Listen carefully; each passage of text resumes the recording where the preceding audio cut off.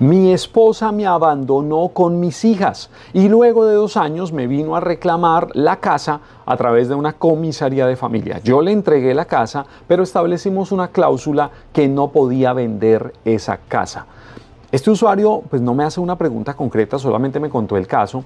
En todo caso aquí hay que decir varias, varias cosas interesantes. La primera, cuando un padre o una madre ha salido del inmueble, definitivamente es recomendable rápidamente hacer un proceso de regulación de común acuerdo, Centro de Conciliación, Comisaría de Familia, Defensoría de Familia y CBF, o hacer un proceso judicial para regular derechos y deberes de ese papá que se fue o de esa mamá que se fue frente a los hijos, establecer temas como la custodia, alimentos, visitas. Lo segundo, no puedo entender qué fue lo que hicieron en Comisaría de Familia, porque los comisarios de familia usualmente no pueden pueden dar ese tipo de órdenes a menos que hayan situaciones de violencia de por medio.